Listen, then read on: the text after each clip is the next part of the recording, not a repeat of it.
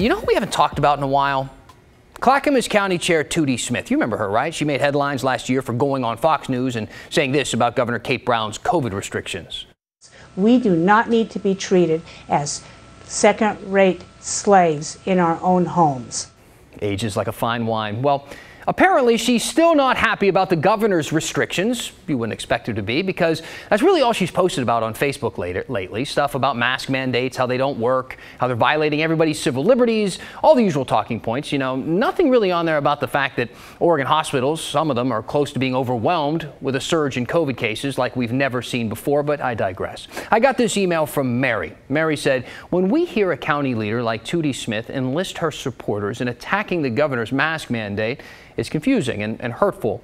She spouts misinformation, discounting all the science that supports the vaccine and how effective mask usage is. Wasn't there a movement in the fall to remove her from office? And that question brings us to our new segment, Recall Roundup.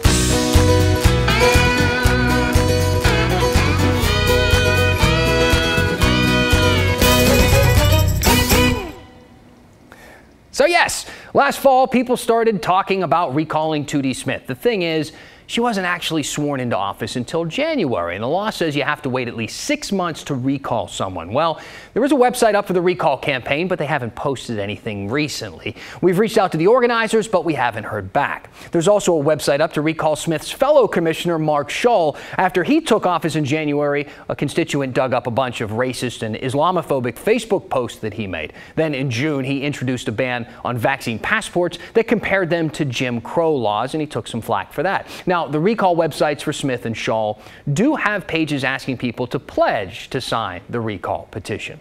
But we asked the Secretary of State's office about this, and they told us Clackamas County Elections has not received a request to approve a petition for circulation for either Commissioner Smith or Commissioner Shull. So it doesn't look like these recall petitions have actually been filed at all yet. Now, there's another recall petition that has been filed. A group called Total Recall is trying to remove Portland Mayor Ted Wheeler from office.